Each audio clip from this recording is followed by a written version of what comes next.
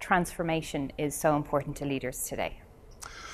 Mm, transformation. Um, I think if a leader wants to enhance their impact, their presence, their understanding of themselves, and therefore to affect change for the better in their own organizations, well, that, that, that journey starts with yourself. That personal transformation is the thing that leads to organizational transformation because leaders need to assess their current capacity to drive transformation through organizations and they therefore need to start with themselves first if they're going to have that level of impact at an organizational level.